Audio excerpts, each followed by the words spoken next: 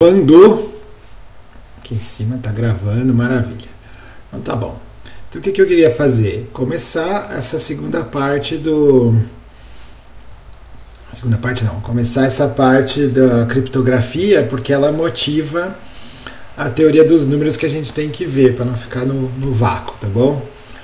E para isso eu pedi para você assistir algumas coisinhas do Khan Academy que são muito boas, tá? Vou botar em português mesmo para não dar para não dar treta, mas depois a gente revê isso.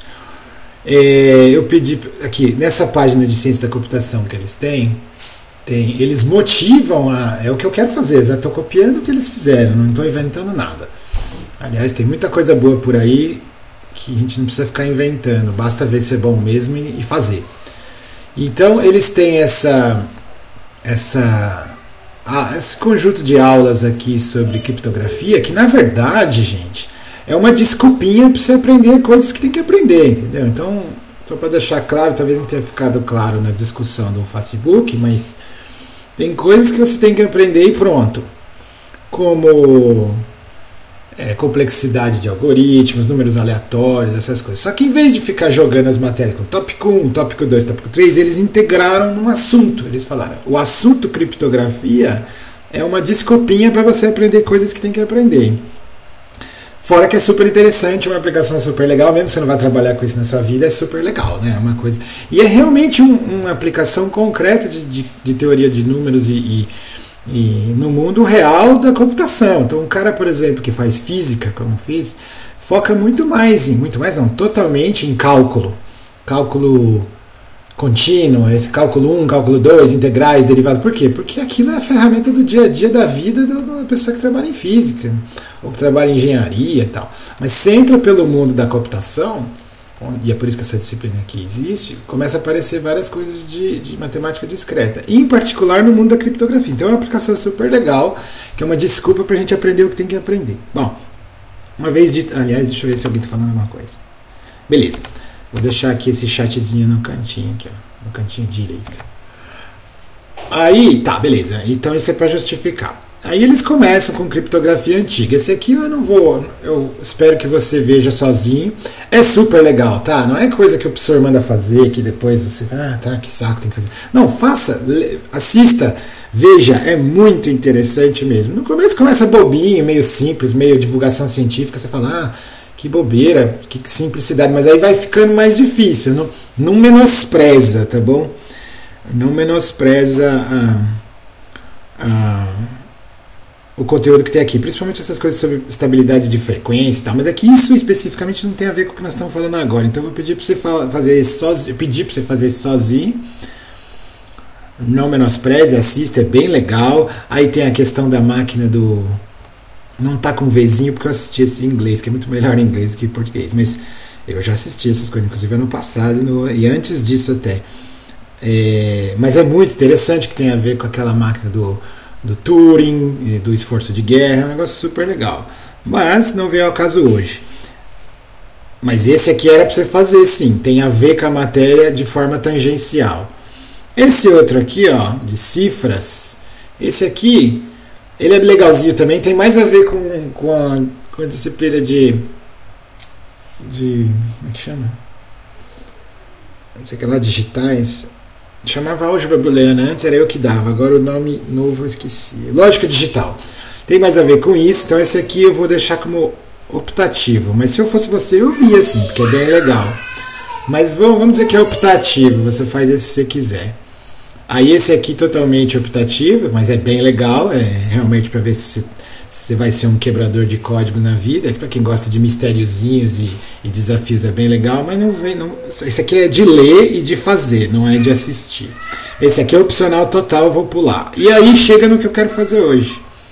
Então o que eu quero fazer hoje? Nós vamos assistir juntos isso aqui, como se estivesse dando aula, como se fosse uma aula de verdade. E aí eu posso parar a qualquer momento. Assim, se você já viu, ótimo, porque aí você já deu aquela primeira passada. Mas se você não viu ainda, vamos ver juntos. E aí a gente pode ir parando, como se fosse uma aula de verdade. Qual que é o problema de, de, de, de aprender no YouTube ou aprender com videoaulas? É porque elas são determinística, certo? A aula está feita e acabou. Se você não entendeu, não adianta você levantar a mão que ninguém vai responder. É, a vantagem desse tipo de, de meio, de mídia para aprender é que você vai no ritmo que você quiser, você volta quantas vezes você quiser, que não dá para fazer isso na aula, né, coletiva. Você vai devagar, você para, você volta depois, você volta só um pedacinho, você pula coisa que você já sabe, mas a desvantagem é que você não levanta a mão e pergunta nada. Né, deixa eu ver. Então, o que a gente pode fazer é ir fazendo aqui, e se surgir alguma dúvida no meio do caminho, você levanta a mão aí, a gente para e discute ela.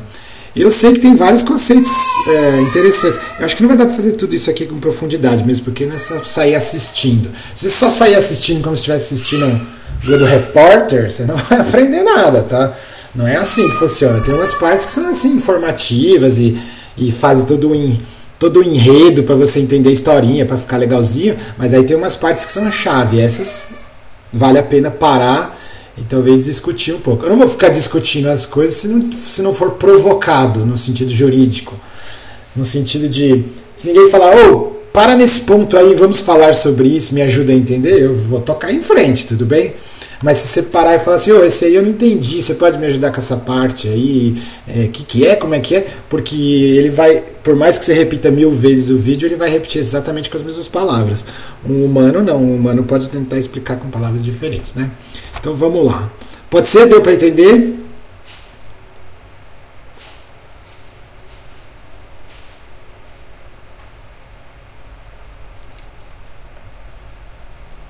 Tudo bem. Não, tudo bem sim, foi na questão de gravar. Para quem chegou agora, estou gravando, tá? Peço sua autorização para gravar. Se você não quer aparecer, não apareça, não tem problema, mas depois eu vou disponibilizar publicamente.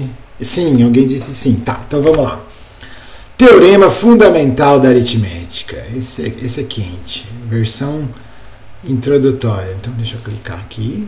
Puft.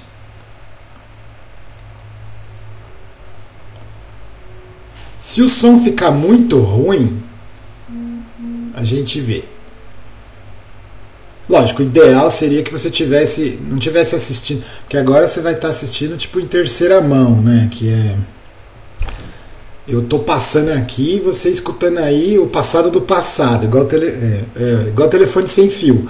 O ideal seria que você tivesse seu próprio vídeo aí. Só que, só que se você tiver o próprio vídeo aí, não tem como a gente estar tá todo mundo no mesmo passo. Então. E aí você vai ter que ficar ouvindo duas coisas ao mesmo tempo. Então acho que essa solução de, de passar junto é a melhor. Mas claro, esse não é o melhor jeito de assistir um vídeo bacana desse. O melhor jeito é assistir sozinho, tranquilo, com a luz apagada e tal. Mas vamos fazer desse jeito porque aqui tem. Não sei se vocês viram, mas tem a transcrição aqui, ó. Aqui, ó. Tem a transcrição. Então dá para você ir acompanhando. Ó, em inglês é muito melhor, tá? E a, a trans, só que a transcrição também está em inglês, então não ajuda muito, só se você meter um Google Translator aí do lado. Por outro lado, na versão em inglês com legenda em português, a legenda em português foi feita por humanos e bem feitinha. Então a legenda em português do vídeo em inglês está melhor do que a legenda em português do vídeo em português. Porque a legenda, essa que você está vendo aqui embaixo, ó, a legenda que você está vendo aqui embaixo, estou mexendo. Dá para ver o mouse mexendo aí? Para cima e para baixo? Dá sim. Então, é, a legenda do português, do para português do vídeo em português, ela tem errinhos, tá? Então não confie totalmente, eu já percebi, não confie totalmente o que está escrito aqui do português para o vídeo em português. O áudio está correto, foi feito certinho. Mas a legenda em português do vídeo em inglês está, está, está correta também, porque foi feito por humanos e, cura, e foi feita a curadoria. Mas então vamos tocar o barco aqui. O legal também é que dá para fazer com velocidade maior quando começa a ficar chato, certo? Então estou assumindo que você viu os outros até aqui, os que eram o, o primeiro bloco, os outros que eram é, opcionais. Imagine não. que estamos vivendo em tempos pré-históricos. Considere o seguinte: é o Bob Esponja? Tá, tudo Como bem. que a gente não dá para saber se alguém achou graça ou não. A gente tinha a ideia do tempo sem um relógio. Todos os relógios são baseados em algum padrão repetitivo que divide o tempo integral em segmentos iguais. Tempo Para integral. achar esses padrões repetitivos, olhamos para o céu. O Sol nascendo e descendo todos os dias é o mais óbvio. Entretanto, para acompanhar períodos de tempo mais longos, procuramos ciclos mais longos. Para isso, olhamos para a Lua, que gradualmente cresce e diminui ao longo de vários dias. Quando contamos o número de dias entre luas cheias, chegamos ao número 29. Esta é a origem de um mês. Mas se tentarmos dividir 29 em pedaços iguais, a gente chega num problema. É impossível. A única forma de dividir 29 em partes iguais é dividir em unidades singulares. 29 é um número primo. Tá muito rápido ou pode deixar assim? É porque eu já vi esse vídeo milhões de vezes, então eu já cansei de ouvir as mesmas coisas, mas eh, não estamos aqui pra mim, estamos aqui pra você, né? Então se quiser, quer que tá, tá ok. Ah, então tá ok. Vou deixar. É o Goku, isso mesmo, é que não é da minha época. Mas no Goku não é o Bob Esponja também, pô? Pense nisso como inquebrável. Se um número pode ser quebrado em pedaços iguais maiores do que um, chamamos de um número composto. Agora, se formos curiosos, podemos pensar quantos números primos há e o quão grande eles ficam. Vamos começar dividindo todos os números em duas categorias. Vamos Então, listar primeiro todos os conceito- primos, né? Primeiro conceito importante, por que, que eles estão introduzindo números primos? Porque isso vai ser importante no mundo da criptografia e é uma das coisas que a gente tem que fazer aqui na nossa matéria. Então, números primos é um dos tópicos importantes de matemática, diz que é a teoria dos números. na esquerda e os compostos na direita. Inicialmente parece que eles dançam para frente e para trás, não há padrão óbvio aqui. Então vamos usar uma técnica moderna para ver uma figura maior. O truque é usar a espiral de Ulam. Primeiro, Então, não é a espiral de Dylan, não, é a espiral de Ulan, tá? Isso aqui foi automática. Se googlar a espiral Dylan, não vai voltar nada. É Ulian que escreve. listamos todos os possíveis números em ordem em uma espiral crescente. Depois colorimos todos os números primos de azul. E depois diminuímos o zoom para ver milhões de números. Esse é o padrão dos primos que segue assim eternamente. Incrivelmente, a estrutura completa deste padrão ainda não foi resolvida. Estamos em uma coisa legal. Então vamos acelerar para ao redor de 300 a.C., na Grécia Antiga. Um filósofo Então, na Grécia Antiga não tinha filme preto e branco, não, tá? Os caras gostam de fazer isso pra dar aquela noção de que é velho, sabe? Mas não tinha câmera preta e branca na Grécia Antiga, não, tá bom? conhecido como Euclides de Alexandria, dizia que todos os números poderiam ser divididos em duas categorias separadas. Ele começou percebendo que qualquer número pode ser dividido uma e outra vez até você chegar a um grupo dos menores números iguais. E por definição, estes menores números são sempre números primos. Então ele sabia que todos os números são de alguma forma construídos a partir de primos menores. Para ser claro, imagine um mundo com todos os números e ignore os primos. Agora, pegue qualquer número composto e divida, e sempre sobrarão números primos. Isso é muito Euclides sabia importante. que cada número poderia ser expresso usando um grupo de primos menores. Pense neles como blocos de construção. Não importa que número você escolha, ele sempre pode ser construído com primos menores. Essa é a raiz da descoberta conhecida como o teorema fundamental da aritmética. Como segue, pegue qualquer Então, teorema fundamental da aritmética. Chegamos no tema central do negócio. número, como 30, e ache todos os números primos que o dividem igualmente. Isto é conhecido como fatoração. Isto vai nos dar os fatores primos. Neste caso, 2, 3 e 5 são fatores primos de 30. Euclides percebeu que você poderia multiplicar esses fatores primos um número específico de vezes para construir o número original. Isso aqui que é, a, o- é a questão importante, achar quem são esses valorzinhos por cima. Dependendo do que você põe em x, em y e z, você, com os fatores primos, con- constrói qualquer número. Nesse caso, você pode simplesmente multiplicar cada fator uma vez para chegar a 30. 2 vezes 3 vezes 5 é a fatoração prima de 30. Pense nisso como uma chave especial ou uma combinação. Não há outra forma de construir 30 usando algum outro grupo de números primos multiplicados em conjunto. Esse que é o tchan da aplicação. É, essa teoria dos números existe por si só, certo? Ninguém, demorou para as pessoas perceberem que isso tinha a ver com criptografia. Mas então tem um monte de gente que não aplica em, aplica em outras coisas, ou aplica, em- aplica na própria matemática, beleza. Ela existe porque ela existe e acabou. Mas no contexto de computação, onde criptografia é, é é a aplicação mais importante, o tchan desse negócio foi o que o cara acabou de falar aqui, ó. Não há outra forma. Aqui, sobe. Sobe mais um. A fatoração prima do número é como se fosse uma chave especial, uma combinação que não tem outra forma de fazer o número. É isso, é essa propriedade da teoria dos, dos números que as pessoas, os fazedores de segredo, pensaram: opa, isso aí é importante. E foi assim, e foi por isso que passou a ser relevante para pessoas de computação. Se não tivesse essa propriedade, teoria dos números estaria lá para os caras da matemática estudar, sei lá por quê, e para a gente não teria nenhuma relevância. Como, por exemplo, deve existir um monte de matemática sendo feita nesse momento ou nas últimas décadas, que agora a gente não faz a mínima ideia para que, que serve. Mas quando os computadores quânticos estiverem bombando e a internet holográfica tiver por aí, todas essas coisas, talvez a matemática que um ramo da matemática que tenha que esteja sendo feito agora passe a ser relevante. A álgebra de Boole foi a mesma coisa. A álgebra booleana passou a ser uma coisa relevante para o universo, não só como uma curiosidade matemática na prateleira da, da biblioteca, quando perceberam que tinha tudo a ver com chaves elétricas passa não passa corrente. Antes disso era só mais uma coisa. Então é, é por isso que nós estamos vendo esse negócio de primos, é porque essa propriedade aqui de, de uma, combina, uma combinação única de gerar um número qualquer usando bases, bloquinhos primos, é essa propriedade, independente da existência dos humanos, é essa propriedade que é útil para criarmos segredos, chaves e, e fechaduras. Faturação prima de 30. Pense nisso como uma chave especial ou uma combinação. Não há outra forma de construir 30 usando algum outro grupo de números primos multiplicados em conjunto. Então cada número possível tem uma e só uma faturação de números primos. Uma forma análoga é imaginar cada número como uma fechadura diferente. A única chave para cada fechadura seria esta faturação de números primos. Nenhuma fechadura compartilha uma chave com outra. Nenhum número compartilha uma faturação de números primos com outro. Isso é muito poderoso, né? É um negócio assim místico. Lindo. Próximo. Deixa eu ver se tem algum. Alguma observação nesse? Posso ir para o próximo? Isso é muito legal. Não sei, todo ano que eu vejo, tudo bem, eu tô com o saco cheio de ver esse vídeo, é verdade. Mas toda vez que eu vejo, eu fico, puxa vida, que místico, que mágico. Eu não trabalho com criptografia, mas eu tive aula na graduação, inclusive quem me deu MAC, quem me deu introdução à computação foi o professor Holt. Quem, o, equivalente do seu Zao é o meu Routo, japonês lá do, do, do IME USP, acho que está até aposentado já velhinho japonês. Seu Miyagi a gente chamava ele, mas não tem nada a ver com o seu Miyagi, mas parece um pouco só. E. E.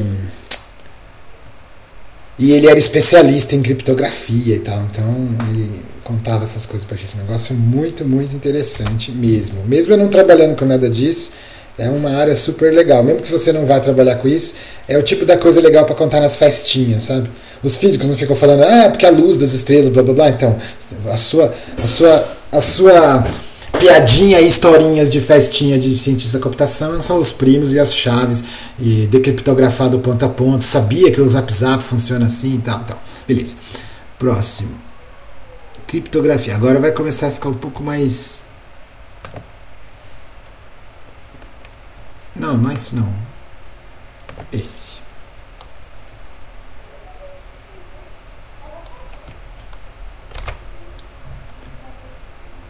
Por isso que a dublagem BR é melhor. Ah, tá bom, vai. Não vou discutir essa afirmação. Porque ela tem a ver com opinião de gosto. E gosto não se discute, não é mesmo? Vamos, rapaz.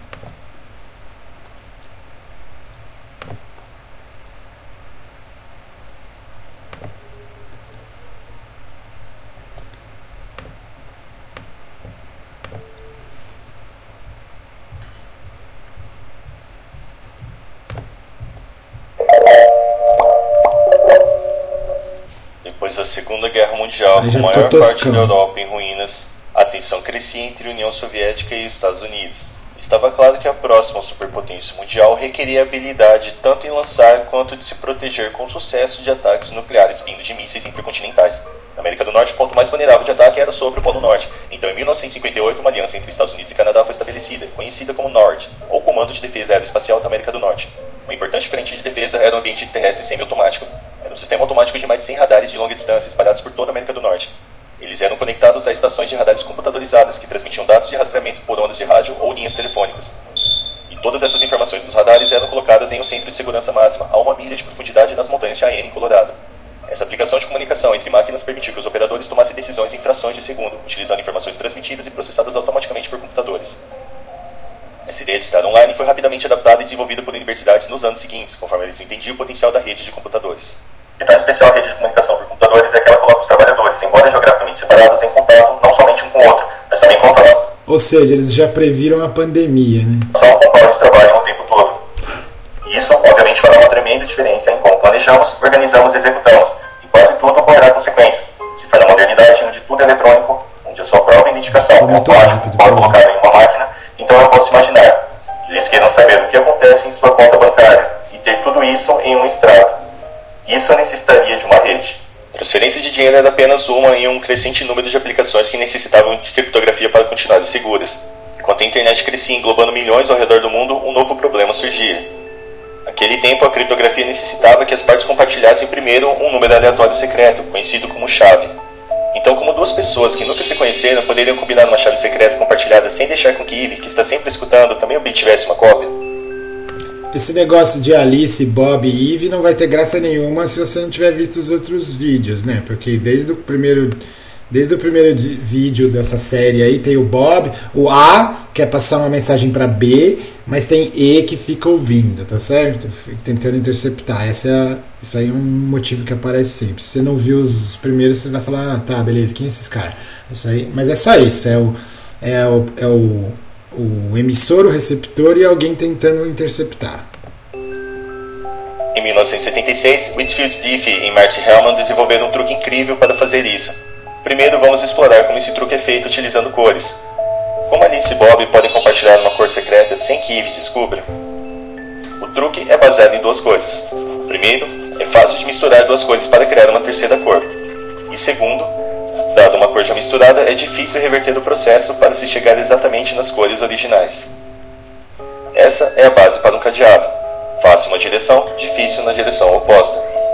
Isso é... Isso é muito importante, tá? É a essência do que nós, do que do, do o procedimento numérico que faz esse tipo de coisa, baseado em teoria do número, blá, blá é, é a, a, essência conceitual é isso. Você precisa de algo que seja fácil de ir numa direção e difícil de ir na outra. Isso é importantíssimo. É conhecido como função de direção. Isso não tem nada a ver com teoria dos números em princípio, né? É que é daí os o pessoal de, de ciência e computação falou, pô, a gente precisa de um treco desse aqui. E aí a teoria dos números tinha uma resposta. Talvez um dia exista outro tipo de teoria, outro tipo de, de outro tipo de ferramental matemático que faça o mesmo, que resolva o mesmo problema de forma até melhor. Sei lá, de novo falando, se a gente estiver no mundo de computação quântica, onde o que era difícil não é mais, faz de conta. Então, então, alguma outra coisa vai ter que ser utilizada, alguma outra matemática, algum outro truque. Mas a essência conceitual do que tem que pôr na cabeça é: precisa de alguma coisa que seja fácil numa direção e difícil na outra. Direção única. A solução funciona da seguinte maneira: primeiro, eles concordam publicamente em uma cor inicial. Por exemplo, o amarelo. Depois, Alice e Bob, ambos selecionam aleatoriamente cores particulares e misturam no amarelo. O objetivo é esconder suas cores particulares Cores particulares foi uma tradução meio xarope, é o, é o private, private de privado. É, tanto é que depois vai ter a chave privada. É alguma coisa que é particular no sentido de que é deles e não foi não foi publicizado, tá? É um termo ruim esse aí, particular. O privado é o que as pessoas mais usam, é, que a gente mais usa assim, para traduzido para o português, é o privado do private, tá? Se bem que private também é particular, mas enfim. Particulares. Agora Alice mantém sua cor particular e envia sua mistura a Bob. Bob mantém sua cor particular e envia a mistura para Alice. Agora a parte difícil do truque. Alice e Bob adicionam sua cor particular à cor misturada que eles receberam, chegando a uma cor secreta compartilhada. Olha que bonito, quer dizer, cada um Cada um põe o seu no negócio que recebeu e aí o resultado fica igual dos dois lados. Olha que, que coisa mística. Note como Eve não consegue determinar essa cor, pois ela precisa de uma das cores privadas para isso. É, se a moça tentar, a bisbilhoteira que tentar fazer isso, não vai dar certo. Se ela tivesse qualquer uma delas, se ela conseguisse invadir, obter a chave private conseguisse o, a cor private de, de qualquer um desses caras aqui, ela quebraria o código. E esse é o truque. Agora, para né? fazer isso com os números, nós precisamos de um procedimento numérico, o qual é fácil em uma direção e difícil na outra. Percebe a essência do negócio? Então, essa é a diferença. Isso é uma coisa que eu queria falar porque vocês são alunos de primeiro ano em geral. Mas os caras que estão mais para frente não sabem. Mas essa, que é, essa é uma diferença, por exemplo, entre ciências de computação e, e implementação de sistemas e tal. Um cara de ciências da computação, em geral, tá? Espera-se. é o cara que vai inventar essas coisas aí que nós estamos falando, entendeu? Que vai bolar esses truques. O cara de sistemas vai baixar o pacote, tentar fazer funcionar, fazer a coisa rodar e tal, mas o cientista de computação é um cara que cujo tem que resolver esse problema aí, entendeu? Como é que fazer esse tipo de truque aí?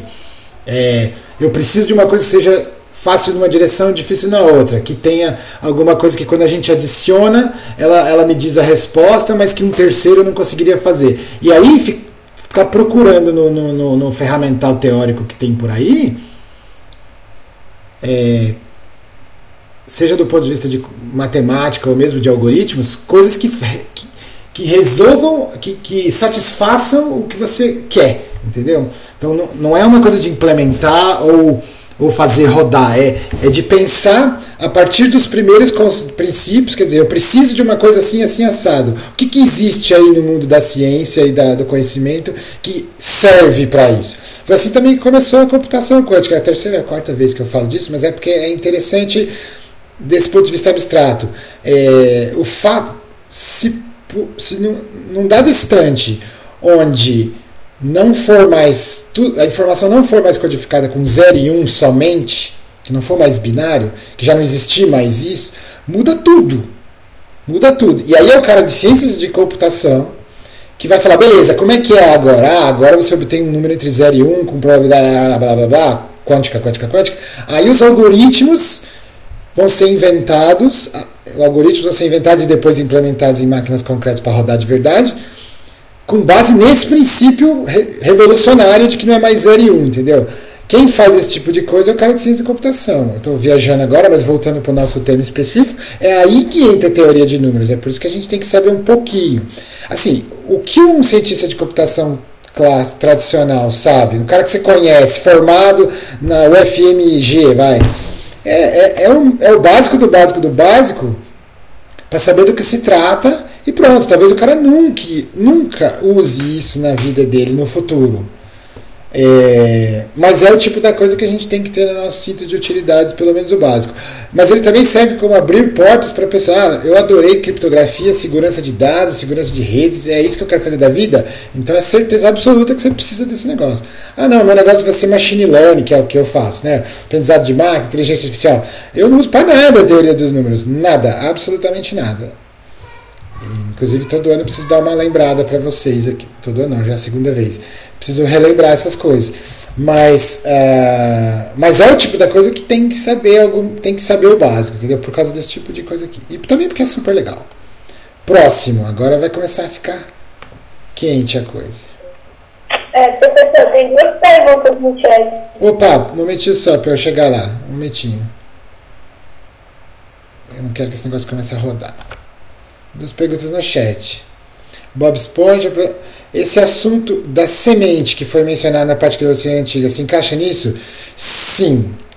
Veja só. Mais pra frente aqui, ó.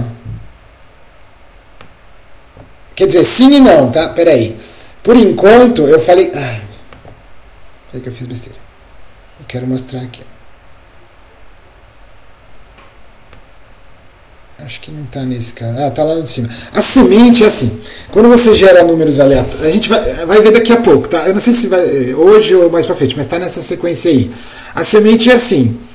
Para você conseguir gerar números aleatórios, mesmo grande, a semente ela é o, o, o que é, ela é o a parametrização inicial para um algoritmo que gera números aleatórios. Portanto, não é aleatório de verdade, né? Porque uma coisa aleatória de verdade não pode ser gerada com uma receita.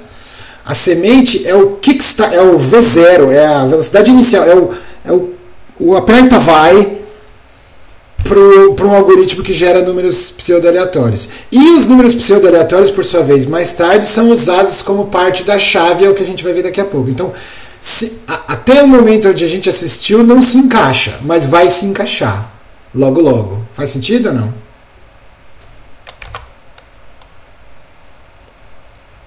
Na questão de ser. Ah, peraí. O assunto ser. Na questão de ser fácil e difícil de voltar. Sim. É, é, é, a questão. Os números aleatórios. Então, peraí. Teoria de números é uma coisa. E geração de números aleatórios é outra. Para fazer encriptação de mensagens moderna, eficiente e poderosa, se juntam esses dois ingredientes do mundo da matemática, que vivem em, e elas, eles vivem em capítulos diferentes, e talvez em livros diferentes da biblioteca, um na estante de baixo, mas o pessoal de ciência da computação percebeu que para deixar essa conversa de teoria de números mais poderosa ainda, a escolha do número primo, que a gente vai ver daqui a pouco, seria melhor, mais eficiente, mais poderosa se fosse feita aleatória. E aí entra o lance do aleatório. Só que não pode ser totalmente aleatório, senão o cara da outra ponta não consegue gerar, entendeu? Então tem a semente. É, é nesse sentido que entra. Mas vai aparecer daqui a pouco explicitamente. Eu não quero fazer spoiler, mas tem a ver sim, tá bom? É... Outra pergunta foi por que os computadores quânticos conseguem quebrar a criptografia? Ah, então. É uma questão de. Não sei se você viu na, na nos vídeos anteriores a questão de, do espaço de possibilidades, né? Quando você tem uma criptografia, você tem um espaço de possibilidades gigante, astronômico, que mesmo que você tenha um computador mega hiper power, você não consegue simplesmente percorrer e achar. Por quê? Porque a essência do algoritmo que está por trás, por mais mega hiper power que seja o seu computador, o supercomputador, não sei quantos teraflops, não importa. A essência que está por trás é e um de cada vez o que, que a gente faz enquanto humanidade usando tecnologia booleana? A gente vai um de cada vez. O mais rápido que der, mas é sempre um de cada vez. Você vai testando e vai falando, é você, é você, não é você, e os algoritmos espertos. Mas essencialmente você sempre faz comparações. Tem sempre um if em algum lugar que compara se alguma coisa é igual a outra. Está na essência da máquina de Turing, de computação teórica, que vocês vão ver mais para frente. Não nessa disciplina, na próxima. Na, sei lá qual que é. E tá, beleza. Quando você chega e fala assim, vivemos numa nova era, agora existe um negócio que chama computador quântico, onde ele não faz mais uma operação de cada vez, por mais rápido que seja, ainda é uma de cada vez. E você não é. Você chega no. no fala, seguinte, regra nova. Não precisa mais fazer um de cada vez. Mesmo que seja mega hiper rápido. Não precisa fazer mais um de cada vez. Você pega uma coisa e põe uma em cima da outra. E do jeito que elas encaixarem, pum, sai a resposta. De repente a premissa de ter que fazer uma, de, uma coisa de cada vez acabou. Você pode fazer coisas simultaneamente. E é por isso que a criptografia, como a gente como faz hoje, é, é como se pegasse aquela matriz gigante, aquele, aquele gráfico gigante que a gente viu ali, de possibilidades, em vez de você ficar vasculhando ele, olhando, você simplesmente põe um em cima do outro e a resposta sai. É uma analogia. Tá bom? E é por isso que o jogo muda. De repente, o que você sabe fazer de criptografia não dá mais. Então, lógico, os humanos não são idiotas e criptografia, guardar segredo é um negócio importante desde sempre. Então, o dia que essas coisas estiverem disponíveis, quer dizer, o quântico tiver, tiver na praça, certamente vai ter gente pensando em como criptografar com dado que agora não é mais uma coisa de cada vez. E aí a teoria que está por trás para criptografar coisas vai ser outra. Não vai ter nada. Você pode jogar todo esse curso, essa parte do curso tudo fora. Mas assim, quando você for velhinho, se tiver uns seus 70 anos, você vai lá, nossa, olha só, no meu tempo era assim. Não acho que seja uma coisa que vai acontecer nos próximos 20 anos. Mas eventualmente vai. Eventualmente vai. E aí, quando acontecer a criptografia, vai usar bases matemáticas diferentes. Mas a, o desejo e, a, e a, o ímpeto humano de, fazer, de ter segredos, não vai mudar nunca. Então não vai ser a, a, computação quântica que vai fazer os segredos desaparecerem. E sim a criptografia num contexto de computação quântica tem que ser outra, mas certamente vai existir. Então quando você fala assim, por que, que o computador consegue quebrar a criptografia atual, do jeito que é feita hoje, é porque eles não vão testar coisas individualmente, eles vão simplesmente testar coisas simultaneamente, que é a questão da superposição quântica e, e outras coisas nada a ver que eu só sei falar a nível super interessante, que se for aprofundar de verdade, o negócio fica fica do mal. Mas certamente alguém vai ter que fazer isso um dia. Louco, né? Enfim. É, voltando.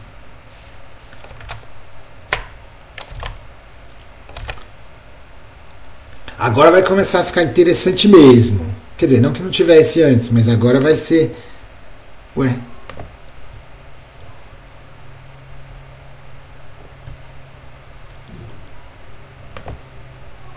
Peraí que deu algum pau aqui. Se alguém chegou agora, tô gravando, tá? Peraí que deu pau, tá? Re, re.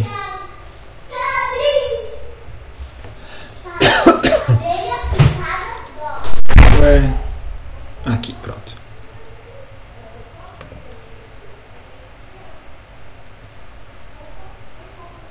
Engraçado, um videozinho de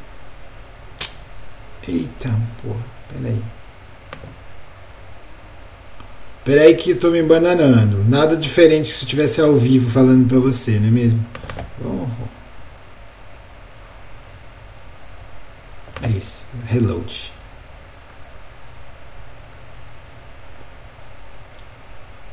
Nós precisamos de um procedimento numérico, o qual é fácil em uma direção e difícil na outra.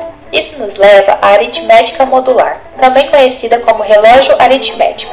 Por exemplo, o para achar 46 módulo 12, poderíamos pegar uma core com comprimento de 46 Não, não poderíamos, não vamos fazer isso, né? unidades e enrolar em volta de um relógio de 12 unidades, o qual é chamado de módulo. E onde a corda acaba é a solução. Então nós dizemos 46 módulo 12 é congruente a 10. Fácil. Então, você vê que não é igual a 10, é congruente a 10, porque existem outros números que podiam dar. Se você desse mais voltas, também chegaria no mesmo lugar, mas aí a gente define como sendo a primeira volta, né? Agora, para fazer com que isso funcione, nós usamos o módulo primo, como 17. Então nós encontramos a raiz primitiva de 17 nesse Então, importante é achar o modo, é, usar um, um, alguém primo no módulo. Caso 3, no qual possui essa propriedade importante que quando é levado a diferentes expoentes, a solução se distribui. Isso aqui é essencial para a coisa. Ele só está mostrando, depois a gente vai ver com mais calma isso aqui, mas é, isso aqui é essencial. Quer dizer, você vai mudando o expoente. Se isso aqui for primo, se o mod se quem está aqui no mod for um número primo, um relógio de 17, é um pouco estranho, mas é um relógio de, de 17 horas aqui, você vai mudando, isso é uma propriedade, uma coisa que acontece. Você vai mudando o, expoen, o, o, o número que está sendo exponenciado aqui, e o resultado final vai, não vai tendo padrão mais, vai aparecendo em tudo quanto é lugar. É, é, essa propriedade que, que os caras de ciência da computação, que nem tinham ensinado ainda, falaram: hum, posso usar isso para gerar uh, ah, para gerar chaves interessantes? Movimento pelo relógio. 3 é conhecido como um gerador. Se levarmos 3 a qualquer exponente x, a solução será igualmente provável que seja qualquer inteiro em Isso aqui é muito importante. Agora, então, essa é uma combinação boa, por quê? Porque você vai mudando o X e ele consegue ele alcança qualquer resultado dentro do relógio 17, de tamanho 17. Isso é um negócio importante. Dependendo dos números que você colocasse aqui, talvez você nunca atingiria. Você teria, sei lá, você teria um ritmo e aí você não atingiria certos números. Mas quando você põe um, um primo aqui e, e, usa o número certo aqui, o gerador, né? Tem como descobrir qual é o gerador e tal é, você faz com que todos possam ser atingidos. E isso é importante, senão você tem uma chave que você não consegue destravar, entendeu? O procedimento reverso é difícil. Por exemplo, dado 12, encontra o expoente necessário para 3. Isso se chama o problema do logaritmo discreto. E agora nós possuímos nossa função de via única, fácil de executar, porém difícil de reverter. Dado 12, nós teríamos que recorrer à tentativa e erro para encontrar o expoente certo. Quão difícil é isso? Com números pequenos isso é fácil, porém se usarmos o módulo primo, que são centenas de dígitos de comprimento, isso se tornaria impraticável de ser solucionado. Mesmo que você possua acesso a todos os poderes computacionais da Terra, isso poderia levar centenas de anos para rodar todas as possibilidades. Porque as possibilidades são muitas e não tem um algoritmo de reversão tranquilo, você simplesmente passa para lá e pronto. E esse que é a questão é essa propriedade matemática que faz com que esse assunto seja interessante para aquilo que você queria desde o começo, um processo de voltar difícil. Você podia fazer uma chave química, que não tem nada a ver com matemática.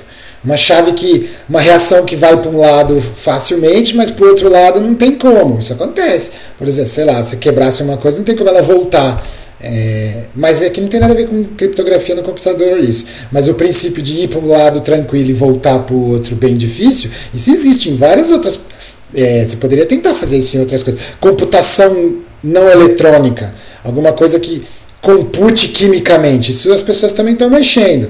Ou, sei lá, computador de DNA, ou é, tem, tem gente mexendo em coisas alternativas desse tipo, para embarcar, para fazer um computador vivo dentro de você, coisas desse tipo.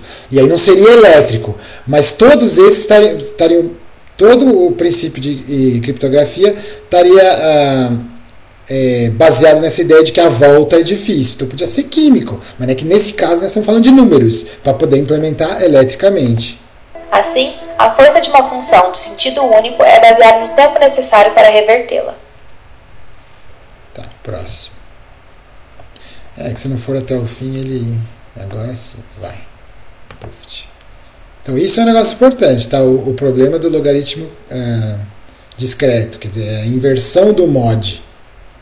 Então Bob seleciona seu número confidencial aleatório. Peraí, peraí.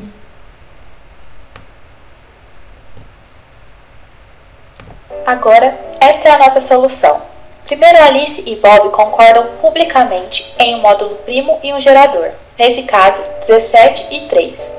Então Alice escolhe um número confidencial aleatório, digamos 15, e calcula 3 elevado à 15ª potência módulo 17, e manda o resultado publicamente para Bob.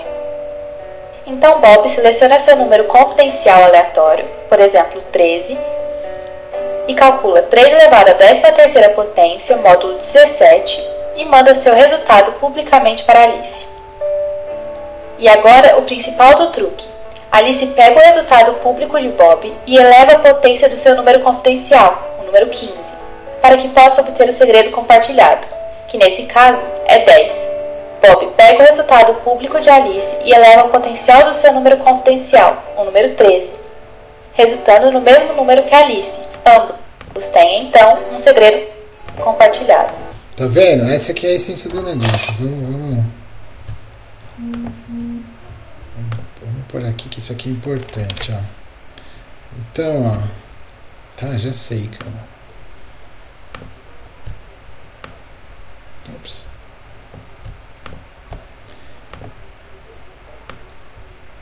Como é que é essa história aqui?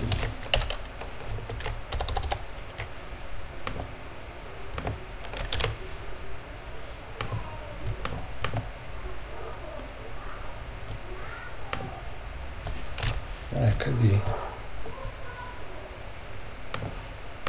Ah, tá aqui.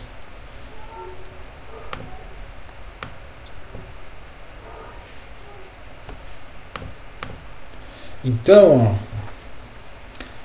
interessante. Esse aqui, essa pessoa tem o 6 e tem o 12, o bisbilhoteiro. Mas como ela não tinha o privado, ela não consegue desfazer. Então seria o resultado que cada um mandou elevado ao número que só eu sei. Mesmo o Bob, ele não sabe do 15, percebe? O Bob não sabe que eh, a Alice tem o, o número secreto dela 15. E o e o contrário também. a Alice não sabe que o número secreto é 13. Podia ser outro número qualquer. Mas o que importa é, quando você faz esse procedimento aqui, você chega no mesmo 10. É assim que eles chegam na mesma resposta no final, mesmo sem ter que. A Alice não precisa contar para o Bob qual é a chave dela. Só que se eles fizerem isso sempre, o de fora não vai conseguir fazer. Não vai conseguir, de, não vai conseguir chegar no 10 nunca. Faz sentido ou não? Não é lindo isso? Cadê? Onde é que? Para eu saber se a resposta é sim. Aqui. Sensacional. É, pois é, eu acho o máximo. Na questão de ser fácil de voltar, eu quis dizer. Ah, não, isso aqui foi outra coisa. Beleza, então vamos voltar lá. Calma, ó, uma coisa que eu preciso falar. O de verdade, para valer, no mundo real, que tem no seu Facebook, Zap Zap aí, é, já é bem mais sofisticado do que esse, tá? Nós estamos falando do básico do básico. Depois as pessoas. O básico, a essência dos algoritmos é essa. Mas aí depois vai colocando o chantilly em cima, vai deixando melhor, vai deixando mais poderoso. Porque é uma guerra evolutiva também. O cara que quebra segredos não está parado olhando. Vocês assistiram aquele, aquele primeiro passo, aquele primeiro bloco, aquele primeiro pedacinho lá do, dos alemães e tal. Os alemães tinham é, tinha uns erros de design que permitiram os ingleses descobrir as mensagens. Bom, se não tivesse erro de design nenhum, os ingleses não, não, não fariam, não teriam quebrado, claro. Mas é muito. É, para não dizer impossível, muito difícil criar um sistema que não tem erro nenhum. Mas é uma, é uma corrida evolutiva. Você, pum, tem um negócio de segredo, aí passa um tempo, que nem antivírus e vírus. É, vírus de computador. Bom, vírus humano também, mas enfim. E, e aí os dois lados estão sempre tentando se é, passar. É, ganhar um do outro. Né? Os quebradores de segredos terão emprego para o resto da vida, porque sempre vai haver segredo e sempre vai, ter, sempre vai ter o Anonymous, não é mesmo? Querendo quebrar o sigilo bancário das pessoas. Então, é, os algoritmos que se usa para valer, eu não estou falando para você, você está no primeiro ano, não estou te falando como é que faz criptografia para valer hoje em dia, porque isso eu, nem eu sei também. Eu não, não trabalho com essas coisas. Então, o estado da arte, o que se faz hoje, certamente precisa desse conhecimento que você está tendo agora, mas certamente é muito mais sofisticado, tá? Também não quero que você pense que, que você vai ver um negócio desse aqui e falar, ah, beleza, acabou. Lógico que não, né? Pronto, já posso fazer meu Facebook. Não, não, é, não é assim.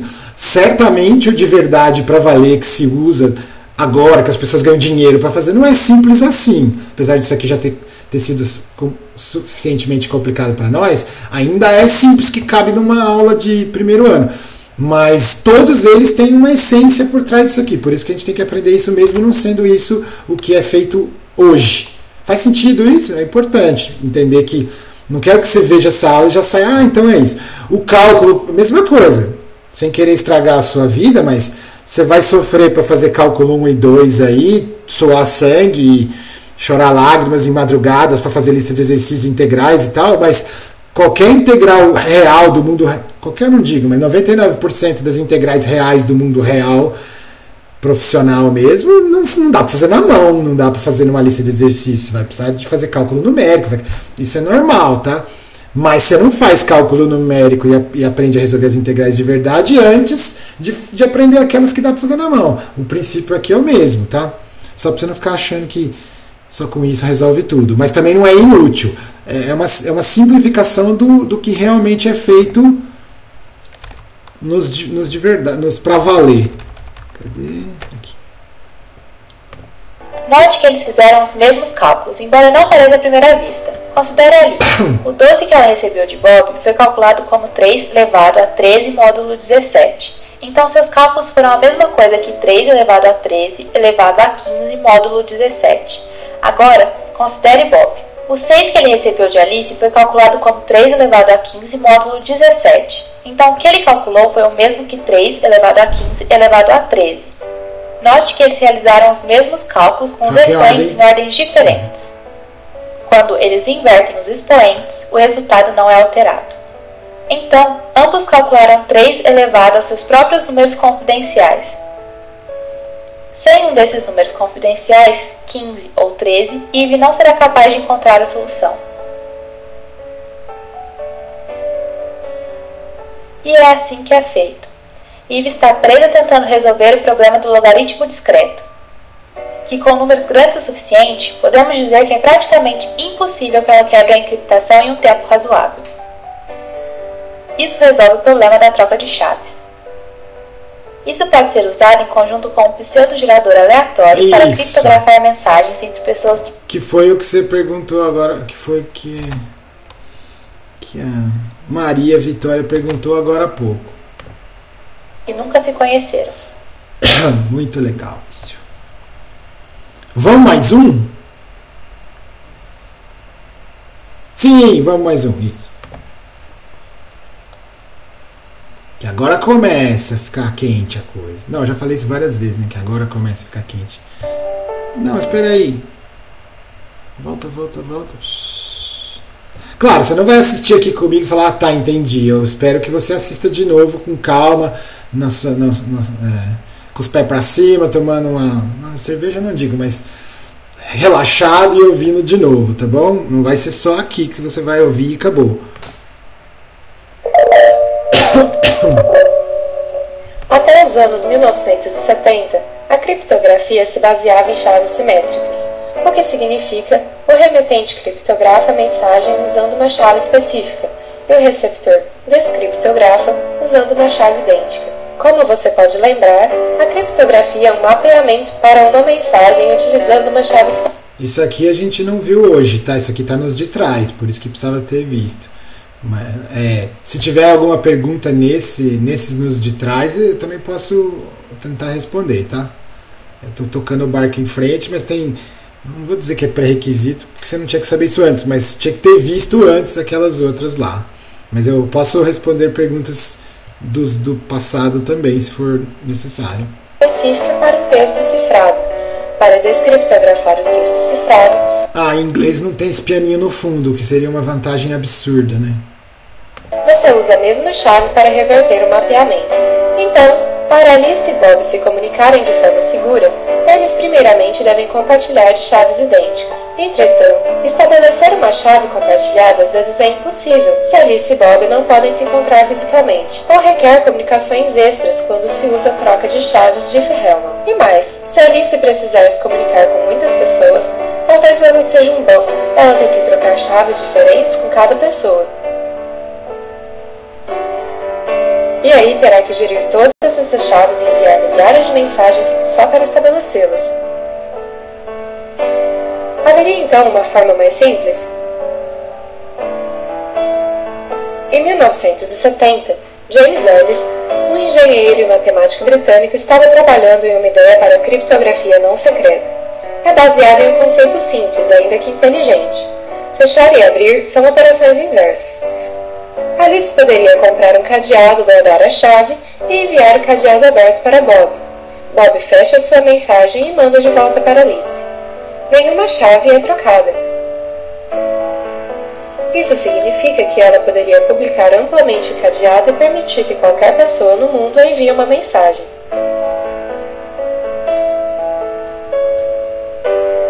E agora ela só precisa manter o controle de uma única chave. Nunca chegou a uma solução matemática, apesar de que ele tinha um sentido intuitivo de como deveria funcionar. A ideia é baseada em dividir a chave em duas partes, uma chave para criptografar e uma para descriptografar. A chave para descriptografar faz a função inversa ou desfaz a operação que a chave para criptografar aplica. Para ver como chaves inversas poderiam funcionar, vamos fazer um exemplo simplificado com cores. Como Bob poderia enviar uma cor específica para Alice sem que Eve, que está sempre escutando, intercepte isso? O inverso de uma cor é chamada de cor complementar. Quando uma é adicionada à outra, produz branco, desfazendo o efeito da primeira Nossa, cor. Esse pianinho tá dose mesmo. Vamos pôr em inglês. Não? Não, tá bom. Nesse exemplo, assumimos que a mistura de cores é uma função de uma via, porque é rápido misturar cores e produzir uma terceira. E é mais lento desfazer. Primeiramente, Alice gera sua cor privada, escolhendo aleatoriamente uma cor, digamos vermelho. Depois assume-se que Alice usa uma máquina secreta de cores, encontra a cor complementar exata ao seu vermelho e mais ninguém tem acesso a isso. Isso resulta em ciano e ela envia para Bob como sua chave pública. Digamos que Bob quer mandar seu amarelo secreto para Alice. Ele mistura isso com a cor pública dela e manda a mistura resultante de volta para Alice. Agora, Alice adiciona sua cor privada à cor da mistura de Bob. Hum. Isso desfaz o efeito da cor pública dela, deixando a cor secreta de Bob. Veja que Eve não tem nenhum jeito fácil de descobrir o amarelo de Bob, já que ela precisa do vermelho privado de Alice para fazer isso. É assim que deveria funcionar. Entretanto, foi preciso uma solução matemática para fazer isso funcionar em prática. Claro, né? Que comentário xarope. Você achou o que? Que eles iam mandar cores de verdade? Enfim. Isso aqui é muito legal. Você vê que isso aqui, quanto mais você explora um negócio que parecia que estava resolvido, aí vem os problemas, aí você tem que resolver o problema. Por exemplo, por que, por que, que precisou fazer essa conversa toda aqui da, das cores e tal? Porque não era prático cada par de comunicadores ter uma chave, ter os seus números-chave, é o que eles estavam mostrando no começo. Se não a Alice que falava com todo mundo, ia ter que ter milhões de chaves, não ia dar certo. Ia dar certo, tá? Mas não seria prático. Aí não é uma questão de nesse caso, não é uma limitação técnica do, do algoritmo inicial. É, é, não, é uma, não, não é uma limitação técnica. Não, peraí. É uma limitação técnica sim, mas não é uma limitação técnica na questão de, de guardar o segredo. É uma limitação técnica de como utilizar ele na prática com vários, com vários mensageiros. Então, então alguma melhoria em cima tem que ser feita. Eles estão mostrando com cores e tal para introduzir, mas daqui a pouco vai vir o truque matemático, né? Então o legal dessas cores é isso aqui, ó. A parte, a parte, a parte chave aqui tá, a parte chave, não é um termo bom nesse momento, porque é uma termo, palavra reservada. A parte chan, o, o, o bacana tá nessa a parte mágica é essa caixa preta que o cara abre aqui e fala, beleza, mas como é que eu gero o complementar da cor? Percebe que quando ele abriu aqui foi, é, foi bem místico, né? Ah, então eu tenho uma máquina que consegue. É aqui que vai estar tá o tchan matemático, de, que até agora era só passar para lá, passar para cá e pronto. Tem que ter alguma coisa que funcione como se fosse essa máquina mágica que você põe uma cor ela cospe outra, que seria o inverso dela. É isso que é, é isso que é o legal do negócio. Vamos para o próximo.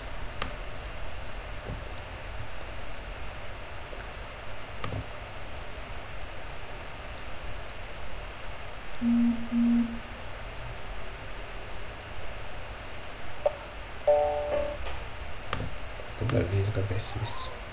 É porque eu nunca assisto até o fim. Quando chega no finzinho eu desligo e ele volta onde estava.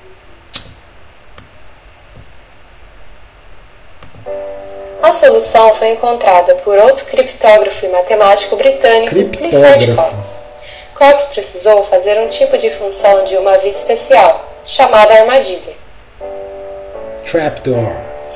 É uma função fácil de computar em uma direção e difícil de reverter, a não ser que você tenha uma informação especial chamada armadilha.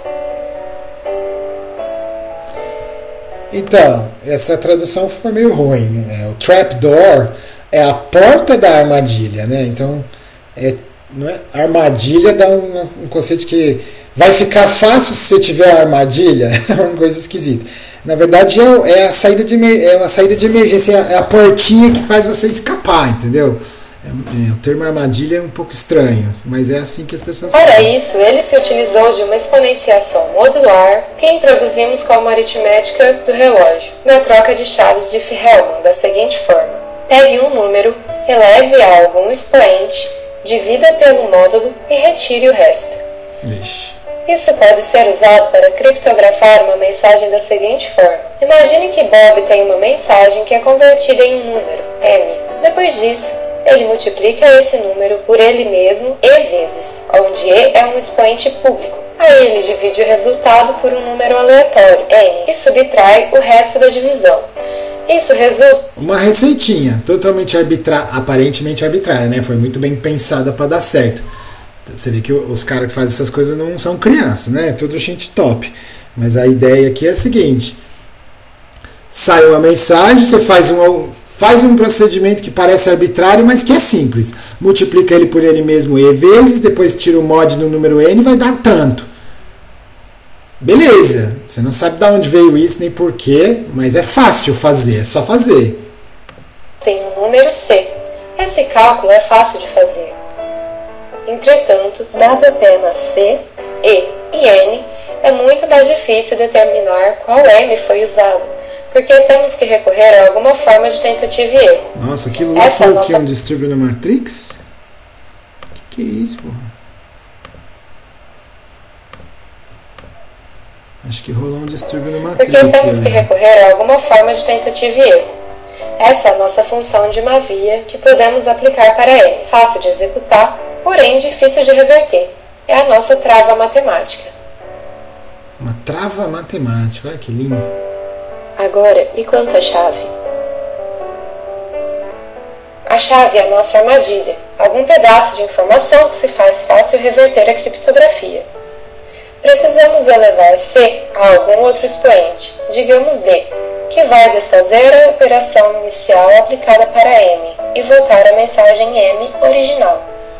As duas operações juntas são M elevado à potência E tudo elevado à potência d, que é o mesmo que n elevado à potência de e vezes d. e é para criptografar e d para descriptografar. Então precisamos de um jeito para ali se construir E e D, o que faz isso difícil para qualquer outra pessoa encontrar D. Isso requer uma segunda função de uma via, que é usada ah, para gerar D. Não em português, não, fala sério. Esse daqui, porque eles ficam pondo, aparece coisas escritas aqui no inglês e eles ficam pondo esses tampões aqui. Deixa eu pôr no inglês, vai, vamos fazer um teste, vai, pelo amor de Deus. Tipo, põe legenda. Aí você aproveita e aprende inglês na quarentena também.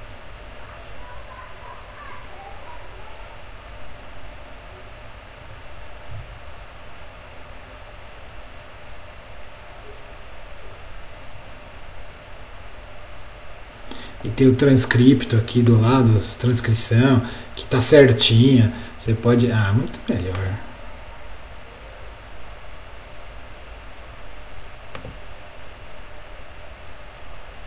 The solution was found by. Certo, mas espera aí, vamos pôr um. Esse está em 12 línguas, não tem 30. Eu espero que tenha a nossa. Ah, aqui, eu lembro disso. Maravilha. Agora sim. Another British mathematician and cryptographer, Clifford Cocks. Cocks needed to construct a special kind of one-way function called a trapdoor one-way function. Arapuca. This is a function that is Pode deixar nesse não? Ah, então acho melhor deixar em português. Tá, tá bom, vai. Não, peraí, temos. Mas tem gente que tem dificuldade. Posso deixar em inglês? Só dessa vez. Depois você assiste em casa em português de novo. Porque fala sério, né? Aquela, os caras pondo as figuras na frente. Tá bom, ótimo. easy to compute in one direction, yet difficult to reverse unless you have special information called the trapdoor. For this, he turned to modular exponentiation, which we introduced as clock arithmetic in the Diffie-Hellman key exchange, as follows. Take a number, raise it to some exponent, divide by the modulus, and output the remainder. This can be used to encrypt a message as follows. Imagine Bob has a message which is converted into a number, m. He then multiplies his number by itself e times, where e is a public exponent, then he divides the result by a random number n and outputs the remainder of the division. This results in some number c. This calculation is easy to perform. However, given only c, e, and n, it is much more difficult to determine which m was used because we'd have to resort to some form of trial and error. So this is our one-way function that we can apply to m, easy to perform but difficult to reverse. It is our mathematical lock.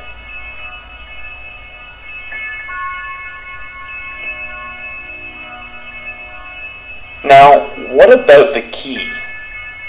The key is the trapdoor, some piece of information that makes it easy to reverse the encryption. We need to raise c to some other exponent, say d, which will undo the initial operation applied to m and return the original message m. So both operations together is the same as m to the power of e, all raised to the power of d which is the same as m to the power of e times d. e is the encryption, d is the decryption. Therefore, we need a way for Alice to construct e and d, which makes it difficult for anyone else to find d. This requires a second one-way function which is used for generating d. And for this, he looked back to Euclid. Over Ah, poxa vida. Cliffhanger. Próximo, próximo.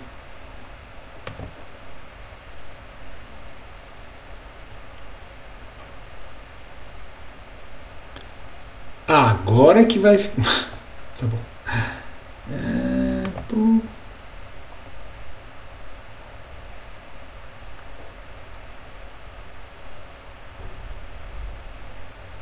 Over 2,000 years ago, Euclid showed every number had.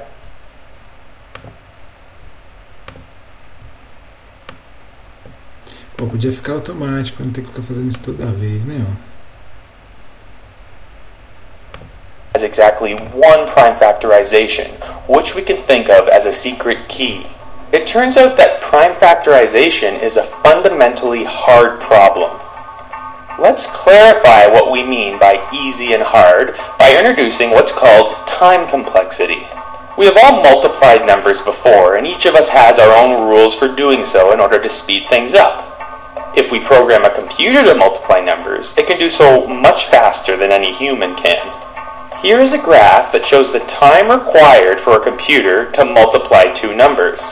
And of course the time required to find the answer increases as the numbers get larger. Notice that the computation time stays well under one second even with fairly large numbers. Therefore, it is easy to perform. Now compare this to prime factorization.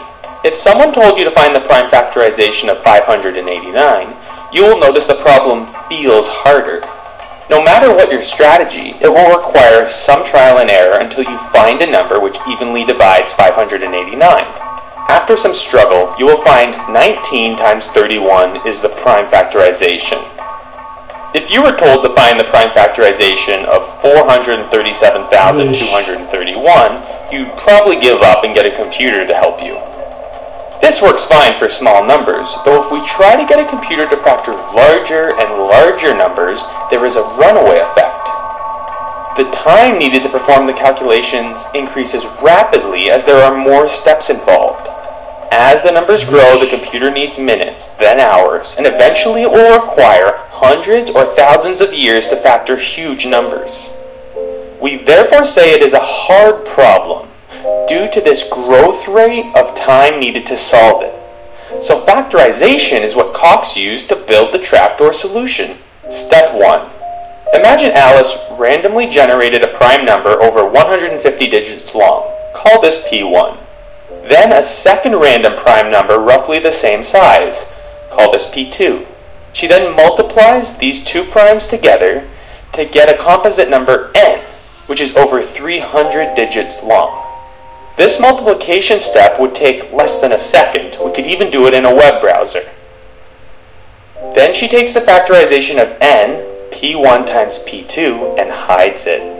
Now if she gave n to anyone else, they would have to have a computer running for years to find the solution.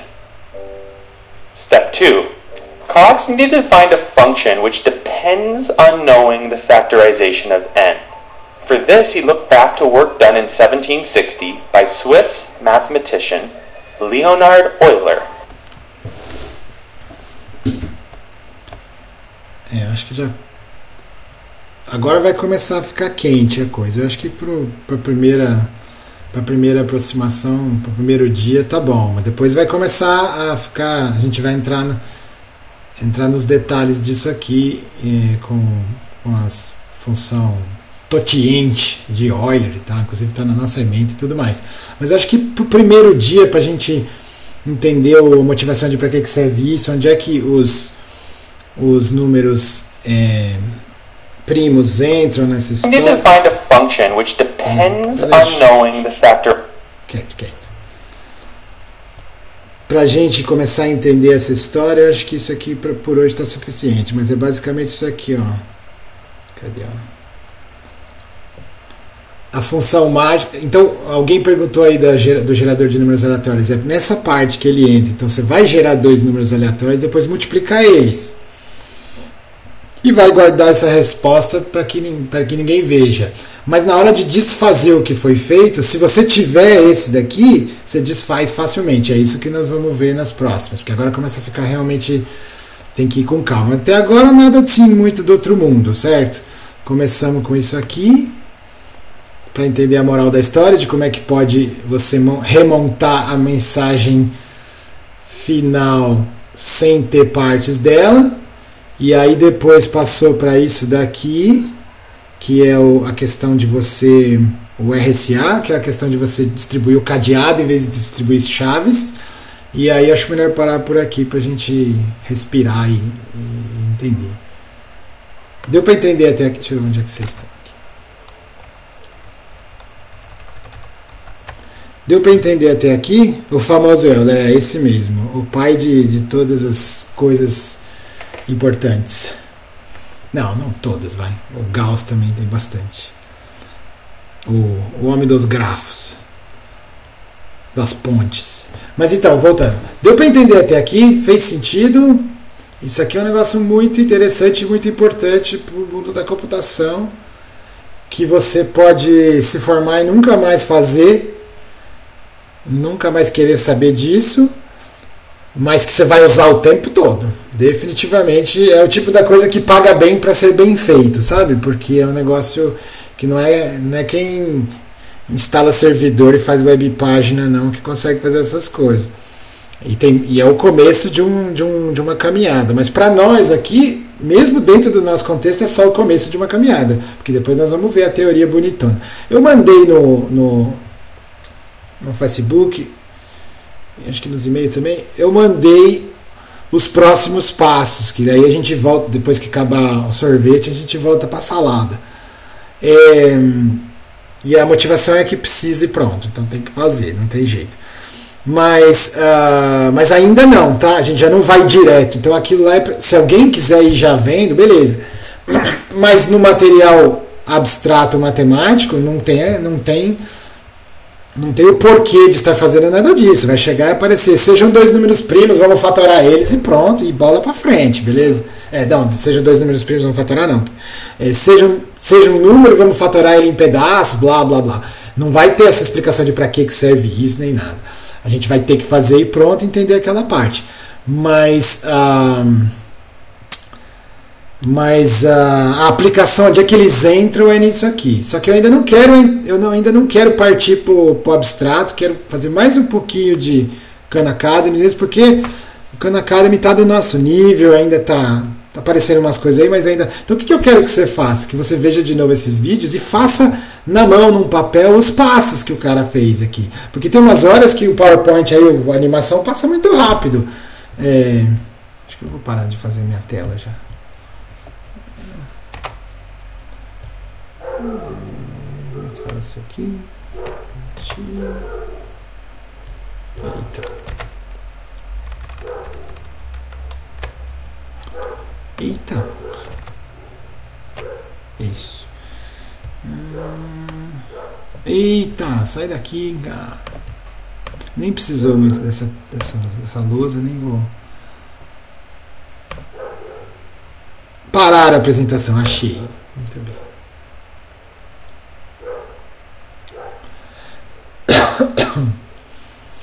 Para ver mais pessoas, não. O que, eu estou vendo aqui? Tirar isso aqui. É isso, eu. Pronto. É, então. Eu não quero já partir para a parte teórica abstrata, não. Vamos fazer mais uma vez o. É, mais uma vez, não, mais um pouquinho desse aí. O que eu quero que você faça é reveja esses vídeos de hoje, agora na sua calma e tranquilidade, sem parar, sem ninguém ficar enchendo a paciência nem falando. Reveja. Eu estou gravando isso aqui, então eu vou disponibilizar isso aqui, mas eu acho que você não precisa disso, não. Quem estava aqui não precisa disso, não. Não precisa ver de novo o que aconteceu aqui. Eu quero que você veja o original mesmo, a sua tela cheia, e a hora que passa aquelas coisas, passa para lá, você para, puxa uma folhinha e faz. Faz no sentido de. Faz o que está na tela de novo. Eu não quero fazer isso agora porque é meio chato, mas você faz lá sozinho. Tá, ah, tá, entendi. Porque tem uma hora que aparece vu, vu, vu, vu, vu, vu, que o cara vai falando, mas faz você mesmo você ver. É isso que eu quero que você faça para a próxima vez. E aí a gente se encontra na próxima e vamos terminar esse negócio aqui. Vamos até o fim. Na próxima que eu digo é a próxima semana. Então já tem missão para essa semana até o fim. Tudo bem?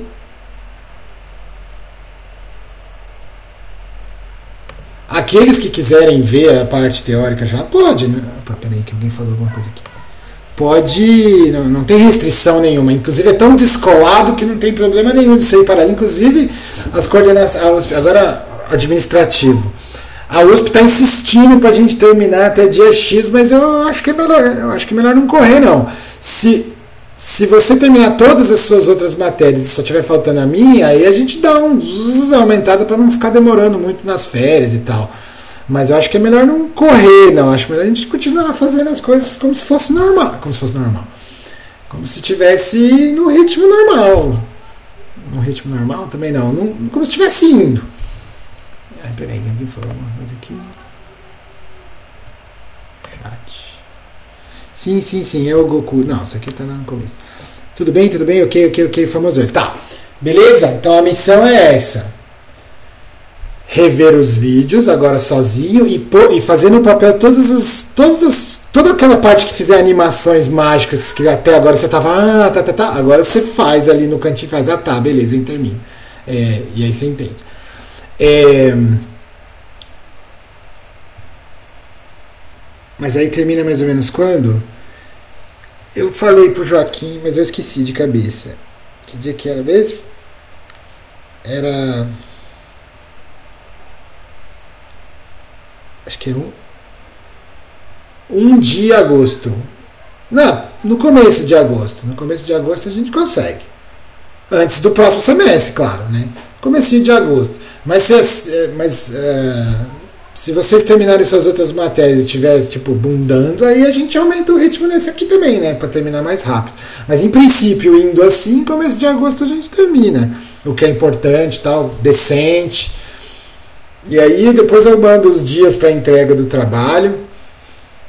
Entrega YouTube, né? Mas aí eu vou fazer perguntinhas, tá? Tipo, você vai me mandar o YouTube, eu vou, assistir em velocidade 2, é claro. Bzz, lá na linha, no tempo tal, você falou tal coisa que aquilo, só pra, pra gente bater bola um pouquinho, mas nada assim do outro mundo. Não vai ser aquele trabalho que você entrega, deposita, manja? E aí tá depositado, a nota que sair, saiu. Vai ter uma volta, falar, mas é aqui o que você quis dizer tal. Mesmo porque não é tanta gente assim, dá para fazer. Eu sempre faço nas minhas outras disciplinas, não tem por que não fazer nessa. Né? É... Mas, ah, então, mas, é, então, mas voltando, por que, que eu falei isso? Porque a parte da teoria lá, da, da parte, da, ela é tão descolada da aplicação, é tão, sejam números tais que blá blá blá e sai fazendo teorema, que se quiser fazer ao mesmo tempo, pode, não tem problema. Eu recomendo fazer um depois do outro, assim. Mas se quiser fazer assim para ganhar tempo, também tudo bem. Alguma hora eu vou fazer assim, e aí nós vamos falar disso. Se você fizer assim em paralelo e depois quando só que aqui eu estou fazendo aqui. Quando chegar nesse tempo, o que está fazendo? É hora de finalizar. Eu já estou finalizando, aguenta firme. Tudo bem. Vai lá falar com a sua avó, vai, deixa eu em paz aqui.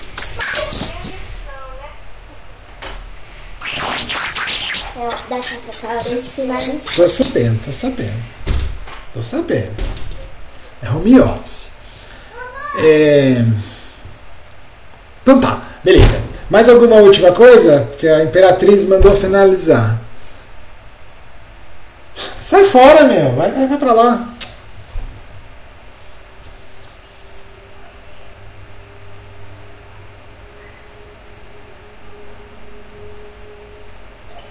Aqui tranquilo, professor, não é não. Então tá bom, então, então vou nessa.